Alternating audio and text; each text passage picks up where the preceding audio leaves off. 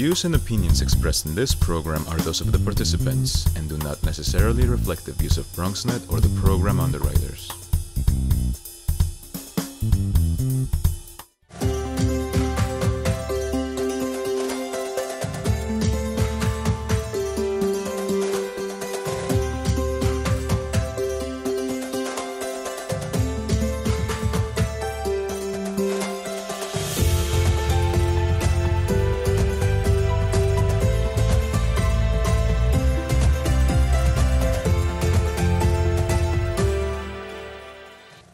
Again, and thank you for joining us on another episode of New York City Hispanic Chamber of Commerce Meetings with the Minds in partnership with BronxNet. Today, we are elated to bring you a much needed conversation about business flight, small businesses, and how real is the threat. We are so excited to be joined by none other than Council Member Mark Gjonaj of District 13 in the Bronx. He is also the chair of the Committee on Small Businesses. Council member Mark, welcome. As the chair of the Small Business Committee, you are definitely an essential worker. I mean, you had it hard before, but coronation has taken this to a whole nother level. Small and big businesses are panicking, with few exceptions, you know, Amazon and the Netflix of the world. Council member, can you talk to us about what we are failing to see? Can you enlighten us? Like, what's going on? As I always begin during this time of crisis and pandemic, uh, I extend my my sincerest condolences to anyone that has lost a loved one. I don't think there's anyone that has not that does not know of someone that has passed from this pandemic. And I also keep in my heart and prayers anyone that is currently battling this virus. Uh, in essence, they're fighting for their lives. So I will keep praying for them. You know, we've seen the writing's been on the wall for some time now. We've seen our commercial corridors and the number of vacancies increasing before COVID 19 crisis. It was evident that the between e-commerce, uh, consumer behavior changes, and big box store competition, that our micro businesses, our small businesses were suffering and they were barely holding on. And this is before the crisis. During this crisis, I've heard some startling reports that as high as 25% of our small businesses will never reopen. That would be mm. devastating to our communities, our neighborhoods, our commercial corridors. With that, we're going to lose uh, small businesses that have invested so much and have given this city and this state so much. We're going to be losing on employment. We're going to be losing mm. on tax base. If ever we need to reiterate the magic phrase shop local, buy local, it is now because COVID 19 has mm. accelerated how we purchase our products and our services. If you didn't use third party food delivery apps before, you do it now. If you mm-hmm. didn't use Amazon before, you are doing it now. So mm-hmm. it's ever more important mm-hmm. that we start living and uh, living by a code, and that is supporting our local mom and pop shops, our micro businesses. And by the way, the coin the phrase uh, micro businesses, I'm mm-hmm. proud to say I've defined it in law and in statute. It's companies that have less than 10 employees. You mentioned shop local, support them now more than ever. And, you know, I believe in that. We all believe in that in the chamber, is how we make our uh, community thrive, really. You know, it, can you share with us? Uh, you mentioned 25% will, you know, will not make it through. Not make no, will not it's not making it through. 25% hmm. of our small businesses will never reopen. Ooh. That's devastation. Yeah, yeah, yeah, yeah. I mean, you know, it's interesting. How do we? I don't even know if there's a silver lining in this. I don't even know what there kind is. of question I can ask you. Like, how do we help these 25% well, businesses to at least have a fighting chance So you know, here's how we do it. Mm-hmm. That's what it's about. See, this isn't a question about thriving. Mm-hmm. This is about how we help our small businesses survive, mm-hmm. not even thrive where they're going to make uh, money and profits. Mm-hmm. We just need them to survive. Mm-hmm. And what is the most disturbing is New York City initiated um, a loans and grants program. Now, what we should be upset about is the dollar amount that was allocated through the SBS, Small Business Services. Mm-hmm. For the 200,000 small businesses in New York City, SBS, through this administration, through the mayor, only allocated $49 million. That is laughable. That $49 million can help our small businesses. Mm-hmm. But the true tragedy is when I had a hearing last week, mm-hmm. we started asking the hard questions, the commissioner testified that in the borough of the Bronx, only 1% of the mm. total loans were allocated, and only 3% of the total grants were allocated.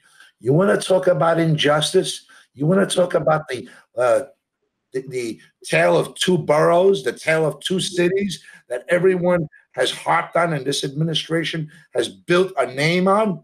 Well, he just created the worst scenario ever. The economic engine may be in Manhattan, mm-hmm. Mm-hmm. but it's the outer boroughs that is the fuel for that engine.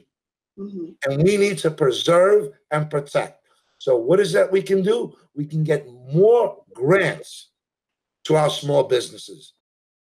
We need grants, and we need grants that are appropriate for these mm-hmm. small businesses mm-hmm. to reinvent their business models in this new world. Um, council member, I'm so happy that you're going up to bat for us. But you know, the as a public servant, you also understand that you you serve the people, right? But this is the time for the people to work with you, right? What what can we do? What do we have the power to do at this point to demand to demand that you know the elected officials the people uh, making you know creating the bills and all these regulations uh, like how do we get them to understand our plight and how do we get them to understand that it is important that we survive Sulma, that's another great question and let me to your point our small businesses have been given back to this great city they made or helped make this city the great city that it is. Right. The state. They've been giving back in taxes. They've been employing people. They've been mm-hmm. providing products and services to New Yorkers. They pay much more than they get back. And in their time of need, we're not there for them. So, what is that you can do?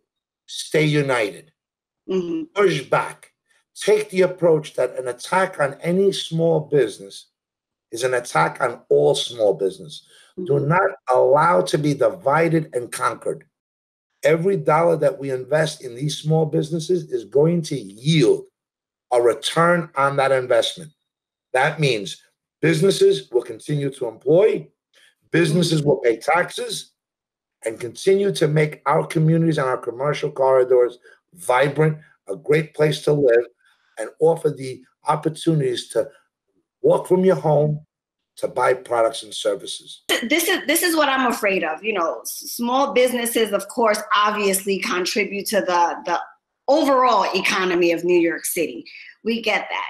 And we started this conversation talking about, you know, business flight. How real is this?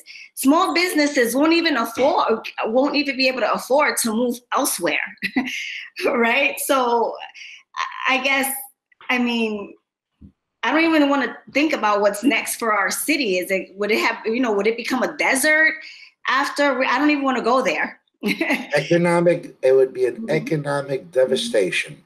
It would also be a disservice. Mm-hmm. Our small businesses, like the Hispanic Chamber of Commerce, represents a unique ethnic group.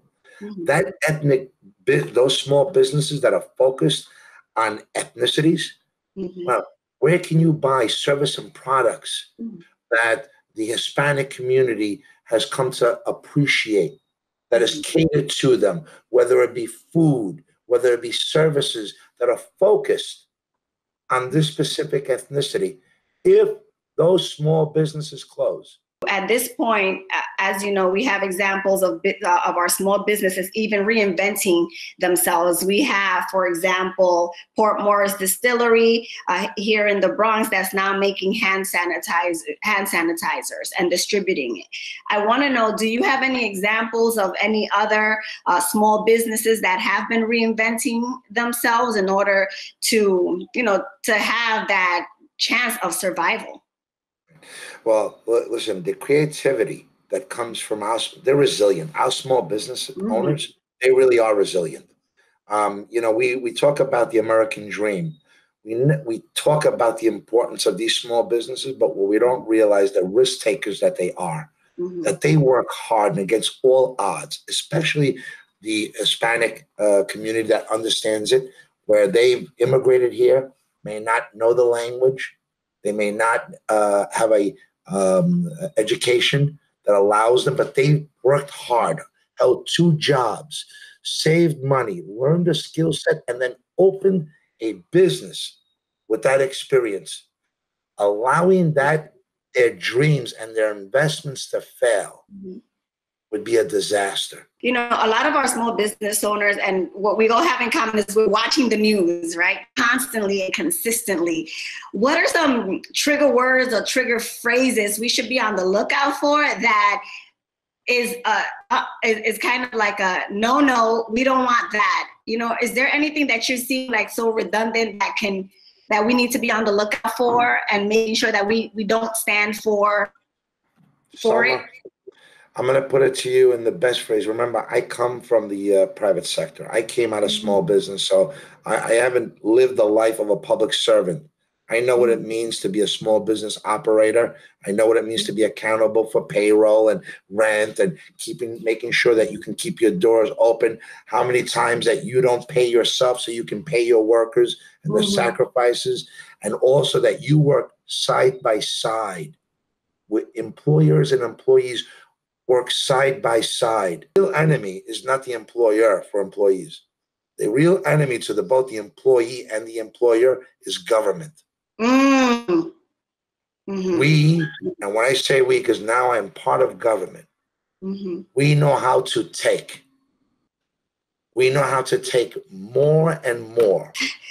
Thank you so much for this. I also want to, you know, of course, end on a positive note, even though you've given uh, know, you've outlined the issues and you've outlined ways in which we can solve those issues. If there is there anything else you would like to say to the um, Hispanic community, our members, our partners, and affiliates, uh, just to close us out?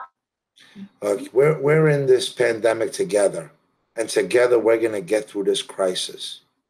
You have a strong advocate in the city council fighting for small business rights to make sure that you can survive and continue to live the dream and, and benefit from the fruits of your labor. You've invested in this city and in this state. This city and this state has to now invest in you. And thank you once again for being our ally and being on our side and understanding us from both a, a personal level, a, a business owner, an entrepreneur, and as a public servant. We are uh, so uh, thankful to have you on our side, and we appreciate you. I'm grateful to you, um, and I value you as much as you value me. And I'm, I'm just in a very fortunate position to be here. And uh, by the grace of God, I'm going to do whatever I can to make sure that you have a loud voice. Thank you. God bless you all. Stay Thank healthy you. and safe. you too, you too. The New York City Hispanic Chamber of Commerce thrives itself on networking and connecting you to one another. Your membership is important, your partnership is important. We encourage you to continue watching Meetings with the Minds in partnership with BronxNet Television. Is how we stay together, is how we fight for one another, and is how we will survive COVID 19.